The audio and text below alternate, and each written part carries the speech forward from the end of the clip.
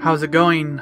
Tyrant here, and here to bring you my Battlefield 5 Firestorm review.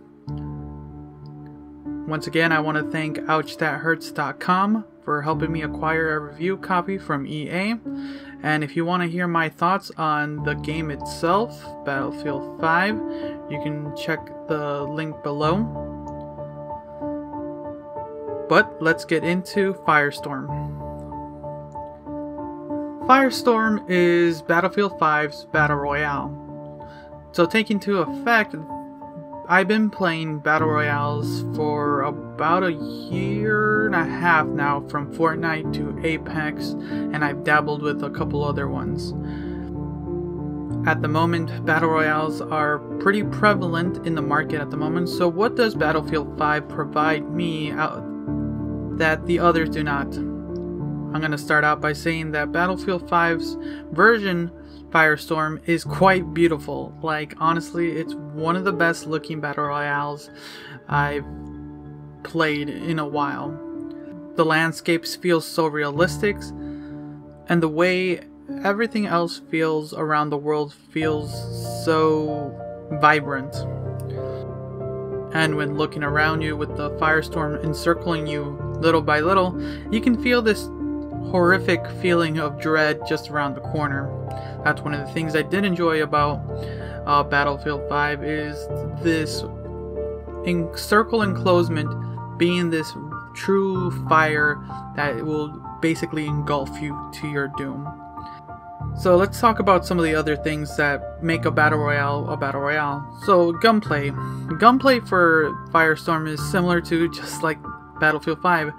In my opinion, if you enjoy Battlefield 5's gunplay, then you're right at home. For me, I did not enjoy it as much as I did, but you know, that's just my skill. But if you've enjoyed Battlefield 5's gunplay, you're right at home. You have the same things as most battle royales. You have different rarities with different weapons, with different modules. Now you can't attach different uh, attachment to your gun. You have to. Sh it shows up during uh, pickups of rarities from common, uncommon, and rares. Some of the fun things that were great that does not show up too much in other battle royales is the variety of vehicles.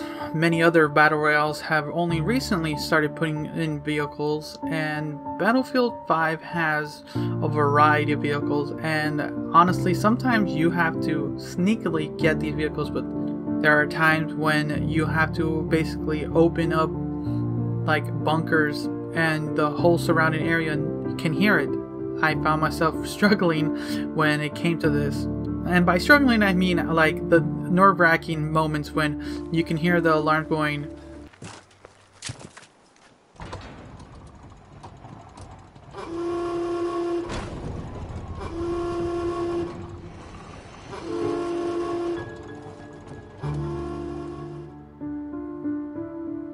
and anyone in the surrounding area can come and bombard you. You just never know what can happen when it comes to these battle royales. As I'm thinking about it, I'm trying to figure out if there's anything else that makes Firestorm different from any other battle royale, and what it benefits Battlefield 5 as a game itself. I can tell you now that it does help Battlefield 5 from my original rating. Actually, no, it doesn't. Battlefield 5 just adds another mode to make that a more enjoyable experience. Would I go out and buy Battlefield 5 just for Firestorm? I don't think so, but there is some fun gameplay in here. It's not for me. There's a lot of things lacking that I found while playing the game.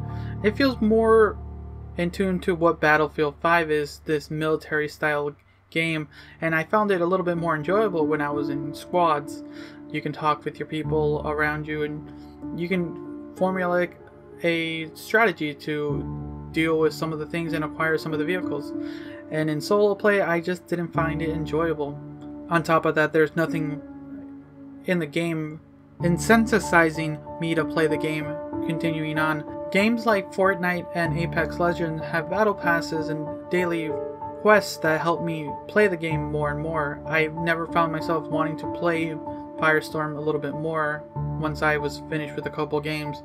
There was no real goal in mind when playing the game unless I was trying for the victory.